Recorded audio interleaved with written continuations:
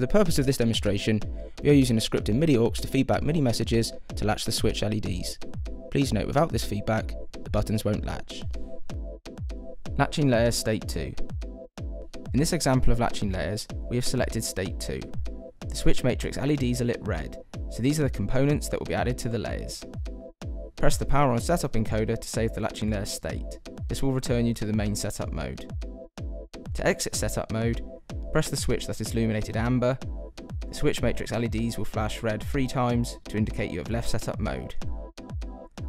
You will see that the latching layers button is illuminated red, indicating that there are controls attached to the latching layer system. So in latching layer state 2, we have just the switch matrix buttons on the layers. We can demonstrate this by first illuminating the switch matrix and pot buttons.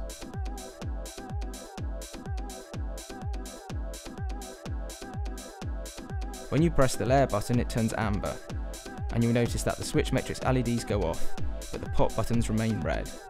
If you press the switch matrix buttons they will illuminate amber, as they are now on the amber layer. Pressing the layer button again turns it green. As before, you will notice that the switch matrix LEDs go off, but the pot buttons remain red. If you press the switch matrix buttons they will illuminate green, as they are now on the green layer. Using the layer button to toggle between the layers, you can see the switch matrix buttons have three states, red, amber and green, but the pot buttons only have one, which is red.